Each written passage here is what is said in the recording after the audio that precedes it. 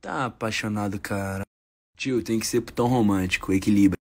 Ainda bem que foi sua tia. Imagina se fosse seu tio, aí você tava fudido. Gosto muito. Mano, ou você estourou que você vai namorar uma pessoa que você gosta pra caralho, ou você se fudeu que vai ficar na friendzone pra sempre. Aí vai de você, da sua sorte. Mano, relaxa, isso é do business, tá ligado? É igual uma empresa. Tem gente que é promovido e tem gente que é rebaixado. No caso, você foi rebaixado de namorado pra ficante. Acontece. Rala aí pra você ser promovido. Ô, oh, minha vida, ainda são 11 horas. Você não faz nada. Mano, às vezes ele só foi comprar cigarro. Só as fotos é dos outros, né, caralho? Você mandar ela ler um livro chamado Constituição.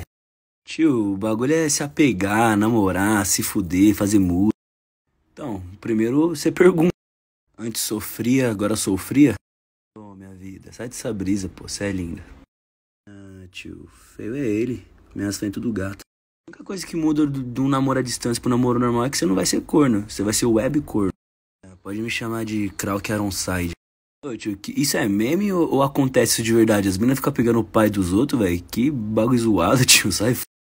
O amor é uma sacanagem, meu mano. Aí você chama ele pra uma revoada gospel.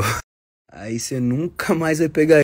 Inscrições abertas na DM, tá ligado? Manda mensagem.